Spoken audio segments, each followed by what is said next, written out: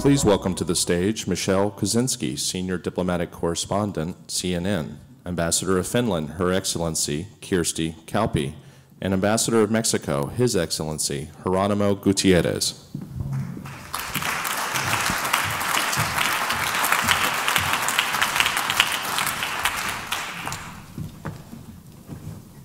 Hello, thanks everyone for being here. And you heard those opening remarks that encapsulated it. Um, and on this theme of balancing national interests and nationalism with globalism, I mean, we're going to look at this from the perspective of within the United States. But of course, we all know that the US is hardly the first to deal with these questions. I think for a long time, many Americans looked at what was going elsewhere in the world in Europe and in other countries and kind of looked at it with interest like, oh, you know, isn't that fascinating? What should, what should we do about this? How, ca how can we help them? How can we be part of this discussion? Only now, of course, Americans are seeing it up close and we're the ones asking those same questions. And, th and these can be loaded terms now, right? Um, Globalism sometimes is a word of reaching out and involving everybody and participation and exploration. But globalism also now can have a negative connotation, and, and it can be the force um, that some are working against. Same thing with the word nationalism. They're, they can be charged terms now. Um, so the questions are tough. The challenge of balance is always something that we're working on of how do you acknowledge uh, the interests people have in domestic issues and nationalism, but not turn inward so much that you're breaking ties that have been important in the past or, or hurting yourself. And you know, that question of how, to what extent and at what point does nationalism hurt your own national interest? And at what point does globalism give rise to the influences that then turn into nationalism. It's kind of a circle, isn't it? So, from the national perspective, we have two ambassadors with us today Kirsti Kauppi of Finland and Geronimo Gutierrez of Mexico. So, let's start with you. And, and you know, among the, the questions and the debate that's out there surrounding this, you know, it, it's obviously very complex, but um, so, something that has been a focus is institutions, international institutions, and maybe a, a growing distrust in some cases of them. Um, what is the future of these institutions, like NATO and the UN? Uh, there's been a calling out of them in a big way, um, a questioning of their very role and, and effectiveness. Um, and uh, Ambassador Kauppi, I mean, Finland, first we should congratulate you because Finland now is celebrating its centennial, 100 years of independence. And you have a lot to celebrate, and you've been an important member of the UN and the EU. In fact, it's been pointed out that Finland is the only Scandinavian country that has adopted the euro. So obviously, you, you join in, but NATO has been something, you've been an important partner to NATO, but you, you are not seeking membership at this point. And, and Finland, over many years, has been torn and, and put in the middle of such influences. So tell us how you think Finns right now are viewing these international institutions, and is that view evolving? Well, thank you. I think uh, this already includes or entails so many questions that I would need the whole day to to touch well, we got we got time we got some time touch upon them but first of all uh, thank you for for for the congratulations related to our 100 years of independence uh, it's very important for us uh, at the same time finns understand that uh, there is no contradiction between being a patriotic Finn and be, being a good global citizen. So, uh, first of all, I would like to uh, touch upon the term nationalism. Nationalism has a very bad echo in Europe, and we rather would like to talk about patriotism. It's a different thing. Uh, patriotism is something being proud about your own nation, uh, concentrating on your own nation building, not against anybody, but, but for, for your own um, uh, own country. Uh, so I would rather talk about patriotism. Um, then there are national interests. But um, maybe for a country like Finland, also uh, in looking at our history, it is very clear that uh, a small country, even if it is a very advanced country, cannot flourish alone or isolated. And actually, we believe that there's no country on earth that can flourish alone and isolated. Everybody needs, today more than ever, the international institutions. We all need common rules of the road. We need to together develop those rules of the road. A rules based system is in the interest of everybody. A jungle, if the world was a jungle, it is certainly not an environment where a small country can, can survive or flourish. But we believe that uh, in these present days, even a big country uh, cannot flourish in a jungle. But uh, going to the, uh, to the affiliations of Finland, um, uh, there is a very strong support in Finland, a very, very broad support for the United Nations. Uh, there's also, nobody questions the value of our Nordic affiliation and the Nordic cooperation.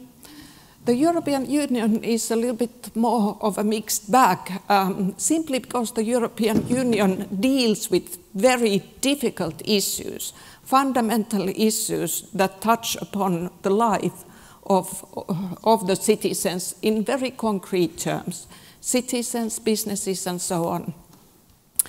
So uh, people tend to criticize uh, the, uh, the, uh, the EU because they feel that it doesn't work the way it should and it doesn't produce the results uh, that it should.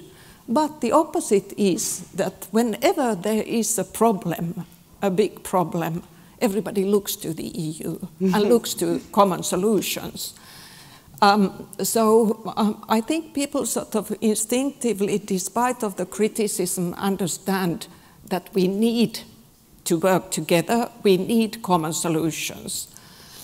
What is interesting, you mentioned the word sovereignty. Uh, of course, in the EU, we have actually pooled sovereignty in certain areas, like in trade policies, agricultural policies, many other policies. In other words, each of the member states has given part of their sovereignty to the EU level now you can ask whether you have lost sovereignty by pooling it or whether mm. you are actually winning some more sovereignty by pooling it.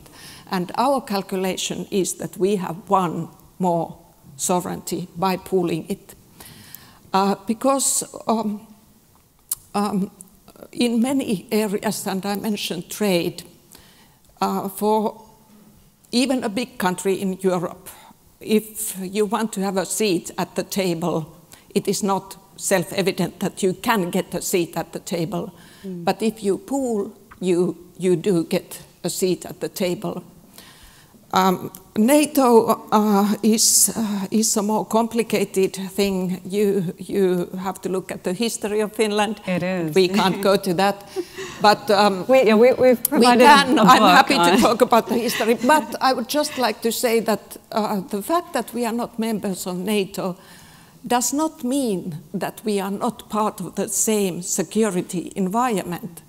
So we very much contribute to the security of the whole transatlantic community. We take part in almost every crisis management operation, be it military or civilian, and we also contribute by um, having a very strong, robust national defense and very strong, robust uh, partnerships with NATO, uh, with the Nordic countries, with the US, and so on. Uh, the final thing on that score uh, that I would like to mention is the, that the European Union also has a very strong security dimension, and, uh, and that is very important for Finland. So just quickly, I'm curious, as I don't know if there has been recent polling, um, but given the activity of Russia, is there more of a bent toward the possibility of, or, or at least of, of the Finnish people wanting the protection of NATO, or not wanting the additional tensions that could come from joining NATO? Like, how are people, what's yeah. the temperature of the people on that now? The um, polls in Finland have been very steady over, over 20, 25 years, so no big changes there. And that, that is linked to our history. Mm. Our history has taught us uh, many lessons, but one of the lessons is that you can never delegate your own security anywhere. You have to, you have to invest in it yourself. And so that is why we have a very robust national defense. We have still general conscription in Finland and so, uh, so on. Um, however, it is also very clear that you need partners and you need partnerships. Um, and um, and for us, the European Union is very important in this respect, the partnership with NATO and, and the others that I listed. Uh, the Russian actions are, are, worrisome, and we have been, but sort of taken, taken the history of Finland, we are always worried about Russia. Uh, and, and, uh, and we have hoped that Russia would develop, would develop to a more sort of uh, Western-oriented direction, more like a normal European country. That has not happened, but that was, in a sense, not a surprise to, to us. So that maybe explains why there have been these two factors. We never sort of, we, we look for partnerships, but we never look at somebody else taking care of our security. Yeah. And the other thing is that you, you, we tend to be a little bit sort of prepared for the worst. so, so that I, is why. I think that's, that's almost a perfect example of the balance that you have to strike. And it's out of necessity in Finland. So thank you for that insight. Um, Ambassador Gutierrez, wow, what an amazing year it's been for US Mexico relations. I mean, it's one of those relationships that you kind of didn't didn't think was going to be one that would make so many headlines, but now's the time. so I know as ambassador, you have had the opportunity, and I'm sure you've wanted to do, do some traveling within the United States and get out there and listen to those perspectives. And I know other ambassadors too, who, especially since the election, have really wanted to go, to leave Washington and, and hear those perspectives up close. Um, anyone who's lived in Washington maybe knows that it's not necessarily representative all the time of all parts of the country, at least the, the sounds that come out of Washington. So in your travels, and you were just in Georgia, is that right? You spent time in mm -hmm. Arizona, was that? North, also. New Mexico. So tell me what you're hearing from people um, about this relationship between the two countries and what you want people to know about it um, as well as what you've wanted to hear from Americans. Okay, well, first of all, a very good morning. Uh, I want to thank Meridian International for the opportunity to join you this morning. It's a, a pleasure to share the floor with my colleague Ambassador Kauppi. And um, thank you, Michelle, for that very thoughtful question. I, but when I travel around, what, what I usually try to learn about is what, are, what is the concerns of Americans about the relationship with Mexico. And uh, three things top the list nowadays. The first one is uh, trade, obviously. The second one has to do with security. And the third one is pretty much on immigration. So, um, what I try to transmit and persuade people about um, Americans about the relationship on those three, three areas, uh, it's basically the following. Um, on trade, I, I, I, I try to transmit the fact that 25 years ago, Mexico, the United States, and Canada took a very, in my view, a very visionary and bold decision to uh, move forward with a free trade agreement. Uh, by and large, that trade agreement, NAFTA, has been uh, successful for the three partners, obviously including the United States. Um, and I emphasize by and large because, as all of you know, free trade does involve that certain industries will go through a, different time, a, a, difficult time. That's that, that it's part of it's, it's part of what free trade involves. But again, on balance, it has been extremely beneficial for the three countries and obviously the United States. Mexico it's, has become a very important uh, buyer of uh, goods and services from the United States. We're actually, uh, you know, we, we buy more than, uh, for example, the BRIC countries put together on a day. We, we trade among ourselves 1.5 billion every day, which is a significant number. And we buy more than, for example, those countries put together. Mexico is a very important market for all sorts of things from the United States. And we benefit from that. We actually, Mexicans benefit from those imports, not unlike the US benefits from what we uh, bring here to the United States.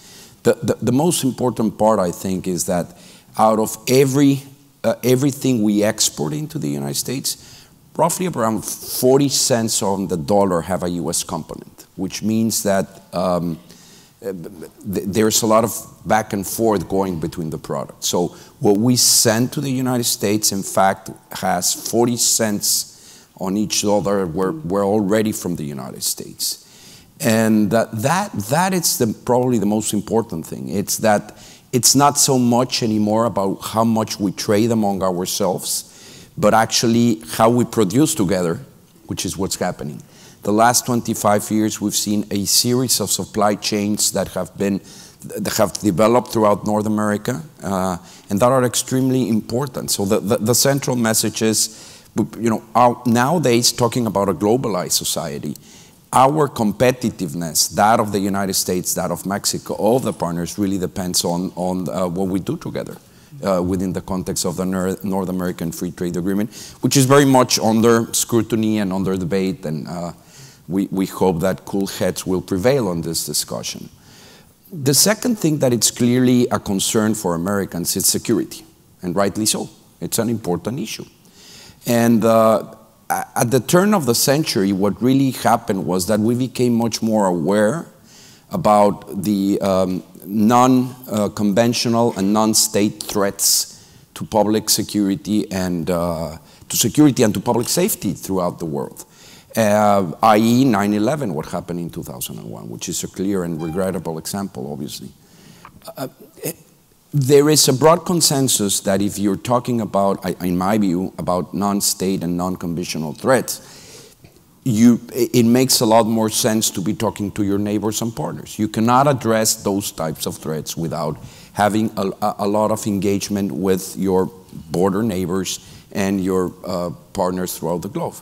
And what I tell people here, because sometimes it's not often known, is that Mexico and the United States it's precisely what we do on a daily basis. On a daily basis, agencies on both sides are exchanging intelligence, are coordinating actions and operations, are um, uh, working to have a secure border. And, and by, by the way, people, people are, you know, people don't like when we start talking about erasing borders. And I want to make the point, and I do make the point, that Mexico is not for erasing borders. Borders have a good reason to exist, and they will only, always exist. And Mexico is, in fact, very much in favor of secure borders. We want secure borders, by all means. Mm. But a security strategy is really about identifying risks, assigning them a probability that they will occur, and then using whatever resources available to minimize that probability. And that's what we're trying to do, and that's, that's what we think we should do to address our uh, shared uh, security concern throughout the border, and, and, and, you know, and people don't often know about that. And uh, it's clear that the, the, you know, Americans, not unlike many other people throughout the globe, are concerned about security. And uh, therefore, I think it's. It, I think one of the things that we we have not done well enough uh, is is actually talk about that. I mean, there are things that, for obvious reasons, on, on the realm of security, you don't talk about. But uh, I think it would be, um, you know, it, it, would be beneficial probably to have more information, generic information about what in fact the United States and Mexico do with other countries, by the way, to address uh, shared security concerns. Have the security are the security concerns of the United States going to be exactly the same as the Mexico's? No, by no means. We have completely different military doctrine, you know, a, a completely different situation. But we do have a, um, an important common, you know, common area of security in which we work. Uh, I wish, and I try to transmit people of that. Um, and does Mexico have uh, a challenge in terms of organized, uh, transnational organized crime? Oh, by all means, you see it frequently on the news. Mm. The point is that it's being addressed, and in fact, it's being addressed in many ways along almost side by side with different agencies of the United States. I think that's, and finally, the, the, the third, you know, area that is of concern of the United States to, to Americans uh, is, is immigration, and that, you know, immigration has always been a sensitive throughout history. It's, it's, been a, you know, it's been a sensitive issue, not only in the United States, worldwide. It's very much part of the talking about uh, you know, national interests and globalized society. Immigration is at the forefront of the world discussions. So what people also, I think, would benefit from um, knowing or understanding a little bit better is a lot of the people that have come from Mexico into the United States for the last 30 years. Uh, the, immigration in, from Mexico into the United States obviously responds to a series of, of reasons. One of them, uh, and that, that has, it's clear, is the fact that for way too long, Mexicans did not find a halfway decent opportunity in their country, and that's not the responsibility of the United States nor its fault. Um, many people left Mexico um, because they were forced into uh, that decision, and that shouldn't be the case. So the first, the first thing that we need to do on Mexico is create conditions uh, for its people in a way that uh, whatever migration or mobility takes place is not a forced decision. If you look at some numbers, in my view, and in spite of still very important challenges, you can make the case that we're actually doing the homework. Uh, between and, and, looking at government figures from the U.S., you will see that, for example, I was 2009 to 2014 net immigration from Mexico into the United States was actually negative, or, uh, or mm. with around 140,000 people. So uh, now there are more Mexicans returning from the United States than actually coming into the United States. And yet, uh, you know, yeah. some people are thinking about, um, I, I, don't know if they know that, no? That, that, um, Americans are now wanting to move to Mexico? Well, we have the, the largest uh, uh expat community uh, from the United States in Mexico, a million of them. Actually, some of them undocumented. Mm. Um, but they live very nice and, you know, and no, half jokingly, but the, the point is that uh, the other reasons is that we complement ourselves. We have the average age or the median age in the United States is 38 years, in Mexico is 28, uh, and we have you know integrated economies. So there's going to be pull factors. To the extent that we recognize that, and we both sides, I think, avoid being a bit um, talk openly about it and not being cynic. And the you know, States, United States recognize that there are pull factors, and Mexico recognized that for far too long we, we just looked the other way around, where literally hundreds of thousands of Mexicans were coming to the United States because they did not find opportunity. And we create those legal avenues and those better both countries are going to be better off. In some, Michelle, what I try to tell people here in the United States is very simple. It's a, a successful and, and, and, and a strong United States is in the interest of Mexico as much as successful and strong uh, Mexico is in the interest of the United States. Yeah. I think that's a, a strong and simple message because you know that the headlines can really get in the way. It's not as if there's breaking news about how much cooperation there is between Mexico and the United States. Um, but the wall is kind of what gets embedded in people's minds. Do people ask you about it, and do they say, is Mexico going to pay for the wall? I mean, do you, are, are you bombarded with that where, wherever you go? I do, I do get asked often about that before coming here. I was living in, in Texas and very close to the border. I lived there for six years. I know the Texas ranchers, and they're, they're not very happy about that idea.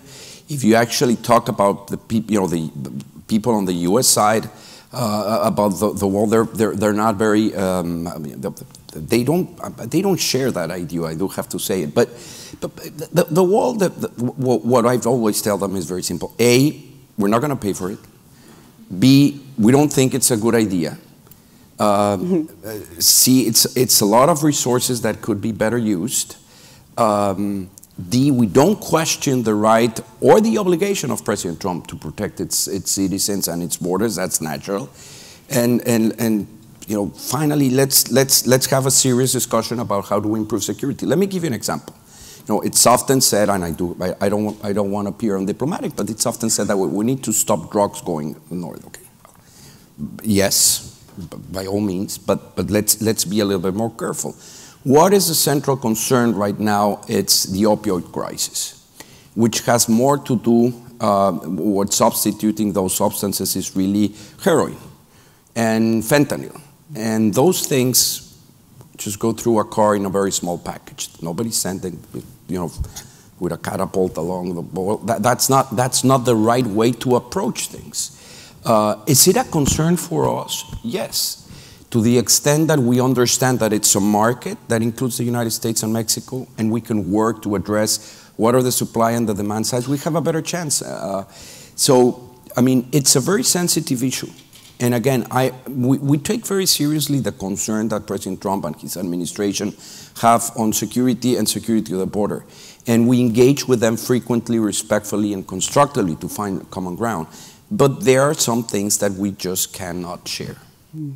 Thank you. And um, I think what you see in this, in this push and pull between nationalism and globalism is it, it's often a, a confusing debate because you know, globalism, like we were talking about earlier, it can become a charged word now, and it, it, it, can, it can, make these situations that are that are just sort of strange. Because e as a nation, wherever you are in the world, even if you did nothing, the nationalism and that wave in your neighbors will affect you the, the, globalism of your neighbors, because of course everyone is interconnected, is going to affect you, even if you did nothing. And um, if you saw during the UN General Assembly, Assembly this year, President Trump's speech, when he said those words, America first, I think that, you know, many European diplomats were taken aback by that. Many of them didn't like it. But if you heard the applause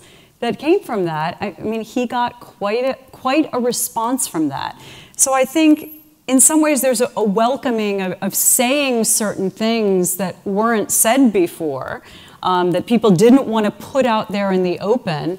And now at least there's a freedom to do that, but there's also maybe a danger in, in going to some places and stirring things up. And I know in Finland, um, you know, you've had some of this push and pull, and I know the prime minister recently made moves to reject a coalition with a particular party that was more nationalistic, and I think it was it was mostly on the basis of immigration. So within your within your own country, how have you tried to strike that balance in this debate that can can really put some people in an in, in a difficult position, almost not knowing you know, wh where to draw the line? Well, uh, the, the, uh, there is, um, there are sort of legitimate concerns. And then the question is, how do people discuss the le legitimate concerns? And we in Europe had this huge immigration wave in 2015 and uh, that, uh, I think, was a big boost for many of the populist parties in many countries. Um, but as far as Finland is concerned, for instance, in that situation, there was a lot of criticism towards the European Union because, as you may know, we don't have internal border controls in the European Union. We have external border control, and that external border control totally failed. So obviously there was a lot of criticism towards the EU. But at the same time, the same people said that the EU must do more. So, um, as I said in the beginning, I do think people instinctively understand that even if they don't like what they see, they, we need international cooperation we need the international institutions. This is difficult to communicate sometimes, but, but I do think people understand. If they, if they live in a, in a sort of a, um, in a good information environment in the sense that they are not fed with one-sided criticism, but they are fed with different kinds of uh, factual information. Uh, what is a very important question is the, how the institutions work, the international institutions. how do they work? Uh, and, and we certainly have to improve the way they, they work and the way we communicate about these issues. But um, just a, a, note on the applause at the UN. Uh, I think, as you said, uh, this message of the interests of my nation first is to some extent absolutely legitimate. There is a background to why, why this resonates. But some of the applause also comes from quarters which don't want to see order and international rules and regulations. And they would like to see an environment where the strongest or the, the, the, the, the most aggressive wins. Right. And, and can dictate. Just the, the strange situation of being in a global body but delivering a nationalistic speech, like to try to incorporate those into the same space kind of made people's heads spin. But that's, that's where the world is now. It was almost a perfect encapsulation. And I just want to ask one quick question, because we, unfortunately we are out of time, but Ambassador Gutierrez, I know because of the rhetoric in the US lately, that has actually spurred more nationalism in Mexico. Um, so it, the, the effect sometimes you see, you know, that's, that's exactly how what's going on in One Nation will affect something almost in the opposite way that's expected right across the border. So, um, quickly, is, is, that a good thing for Mexico, or do you have concerns about that? No, I, I, I, I personally have a lot of concern because for the last 25 years, Mexicans had been, actually to be blunt, they had been told by you know, administrations of two different parties of the last 25 years saying this is the right way to go to develop. And the way to go involves being a partner with the United States, you know, free trade, building on a certain set of principles. And then suddenly, after 25 years, there's a big disruption, and suddenly your partner goes out and say, I don't really want to be a partner. And uh, there's a poll that gets conducted every two years by a very reputable institution uh, that measures uh, how, how Mexicans perceive the United States, and they ask a series of questions. It's a you know statistically poll, and um, sure enough, for the past 10 years or even more, the number, for example, the number of persons in Mexico, the percentage of Mexicans that distrust the United States had been continuously declining from, I can remember, 44% to 11. We went, or higher, we went, I'm sorry, we went to, from 11 to 44% in three months. Now, is that a blip? Probably. Is that relevant to the United States? Hopefully but I don't think it's a good idea because, because of uh, that much. My, my own view is that the average Mexican just wants a relation with the United States that is respectful and that works for both sides.